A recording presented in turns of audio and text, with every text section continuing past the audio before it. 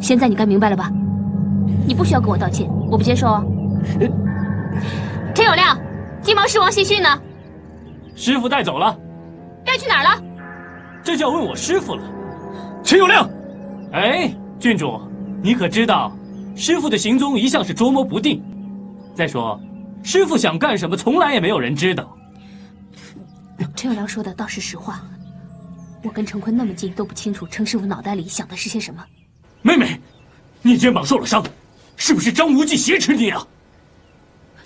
不，挟持我？不不，张无忌，我说的话不会收回。哎呀，你怎么脑袋跟个石头一样？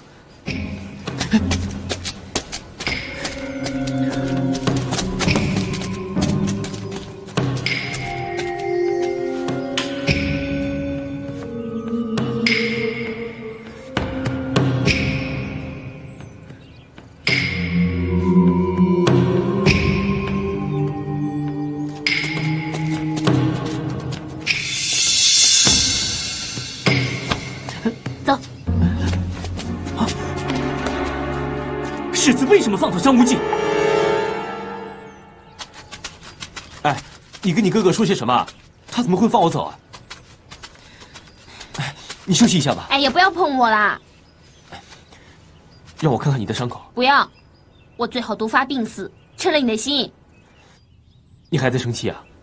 你这么不相信我，冤枉我，我干嘛要给你好脸色看？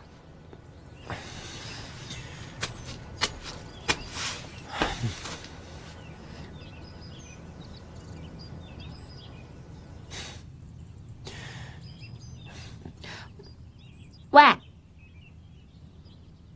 叫我？这里就我们两个人，我不叫你，我叫鬼啊！什么事啊？你真是根木头哎！你对我做了这些事情，你还面无愧色，冤枉了我也不跟我道歉。我有这个心呐，只是怕我一开口啊，你一句顶回来，我下不了台。你过来，你过来。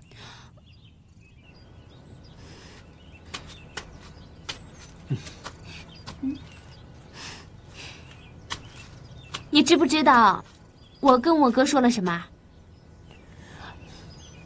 我说，我有了身孕，怀了你的孩子。你说什么？我跟我哥说，我有了你的骨肉，他要是杀了你，我也活不下去了，那就是一死三命。他没办法跟我爹交代，所以就只好放了你了。你为什么要这么说啊？我为了你。